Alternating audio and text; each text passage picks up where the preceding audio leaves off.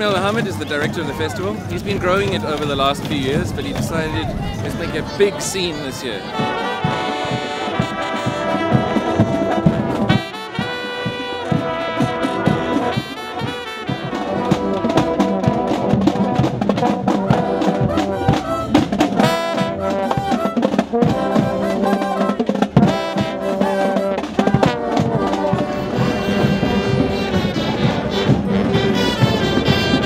Had a dream to connect the the arts festival more with the township.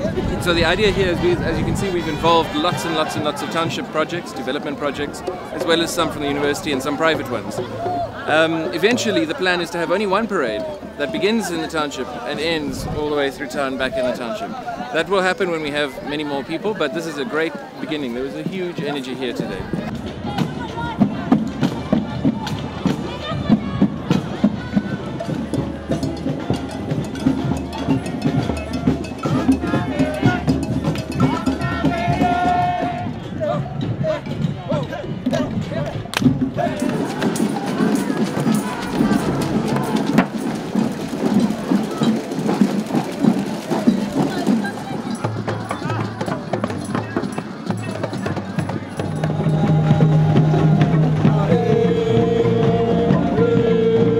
Had some new things. We made a giant tortoise made out of drums.